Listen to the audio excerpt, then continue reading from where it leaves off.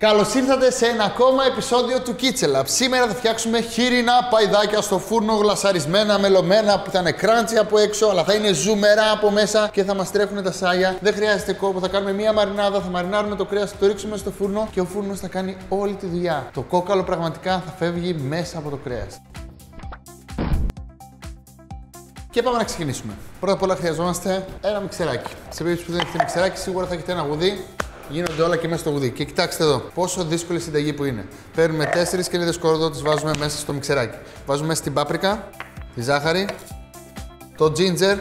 Σε περίπτωση που δεν θέλετε να βάλετε ginger, θα βάλετε κάτι καυτερό γιατί θέλουμε να ισορροπήσει τη γεύση από τη ζάχαρη. Θέλουμε να καίει λίγο η μαρινάδα, γιατί ουσιαστικά θα βγει πάρα πολύ γλυκό το φαγητό μας και είναι κάτι που δεν θέλουμε. Η γλυκή τα πάντα ισορροπεί όταν ένα φαγητό είναι και λίγο spice, λίγο πικάντικο. Ε, θα προσθέσουμε μέσα ελαιόλαδο, περίπου δύο κουταλιές σούπας, ε, εδώ, Αλάτι πιπέρι.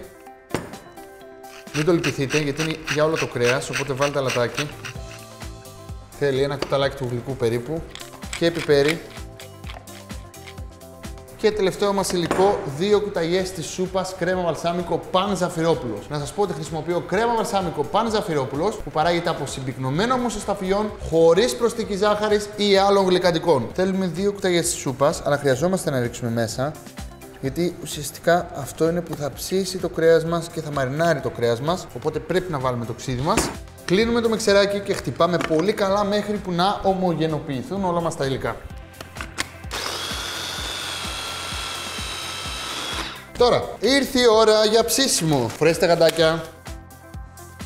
Θα βάλω σε ένα μπολ τα παϊδάκια μου τα χοιρινά παϊδάκια. Σε περίπτωση που αναρωτιέστε ποιο μέρος είναι τα παϊδάκια, ουσιαστικά από εδώ και πάνω βρίσκεται η μπριζόλα. Αυτές οι κλασικές μπριζόλες χοιρινές που παίρνουμε με το καρέ. Ε, το υπόλοιπο κομμάτι από κάτω το παίρνουμε για να φτιάξουμε παϊδάκια. Αλλά σε περίπτωση που δεν βρείτε παϊδάκια, μπορείτε άνετα να πάρετε να χρησιμοποιήσετε πανσέτα ή λαιμό. Όλα τα κρέατα μας κάνουν.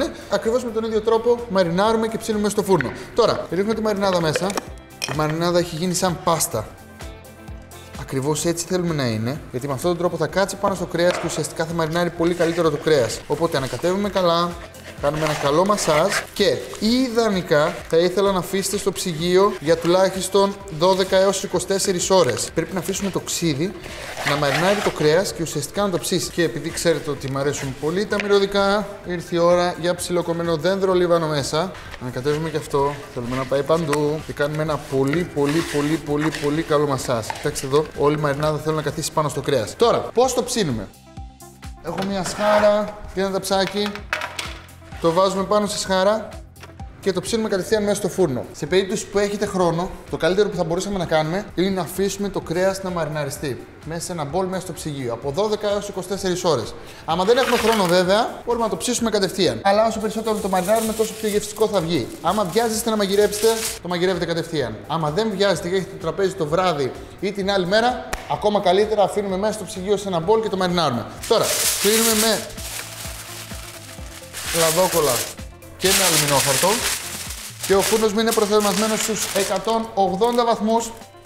Θα ψήσω για 2 ωρίτσες και πασμένο. Θα ξεσκεπάσουμε και θα ψήσουμε μετά για άλλα 20 λεπτά με μισή ωρίτσα μέχρι να πάρουν ωραίο χρώμα. Όταν τα βγάλουμε και είναι ζεστά και λιώνουνε, πραγματικά πρέπει να λιώνουν, τότε θα σερβίρουμε με πουρία πατάτας και θα σας δείξω ακριβώς πόσο θεαματικό μπορείτε να κάνετε ένα πιάτο πραγματικά με το πιο φτηνό κρέας που υπάρχει. Τα χοιρινά παϊδάκια. Και πέρασε η ώρα και τα παϊδάκια μας είναι έτοιμα. Μα κοιτάξτε εδώ.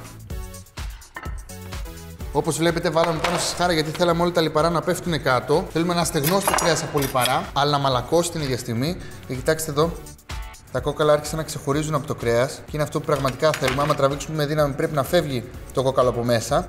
Οπότε εκεί πέρα είναι και το σημάδι ότι το κρέας μας είναι έτοιμο. Τώρα, βγάζω τα παϊδάκια μου, βάζω σε ένα ξυλοκοπής και Παίρνω ένα μαχαίρι και κόβω τα παϊδάκια μου. Κοιτάξτε εδώ.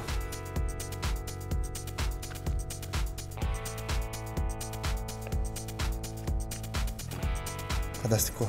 Το βλέπετε; Είναι ακριβώς όπως πρέπει να είναι. Είναι ψημένα στην εντέλεια. Και τώρα το μόνο που πρέπει είναι να τα σερβίρουμε. Πώς θα τα σερβίρουμε; Είναι ένα ρουστίκ φαγητό από μόνο του. Οπότε με λίγες πατάτες θα μπορούσαμε να βάλουμε δίπλα και να το σερβίρουμε. Αλλά σίγουρα μπορούμε να το κάνουμε πολύ πολύ πιο θεαματικό. Πώς; Πάρτε ένα πιατάκι, Πάρτε την κρέμα βασάμικο, κάντε σχηματάκια που ίσως να σας αρέσουν.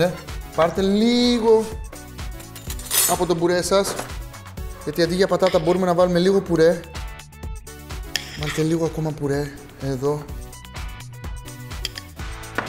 Πάρτε ένα παϊδάκι. Βάλτε το από πάνω. Λίγο δεντρολίβανο. Και βουάλα. Φτιάξαμε το πιο γκουρμέ πιάτο με το πιο street rustic φαγητό που υπάρχει. Και για τη γεύση, απλά λιώνει στο στόμα, είναι καραμελένιο, είναι πεντανόστιμο και είναι κάτι που μπορείτε να φτιάξετε όλοι σας.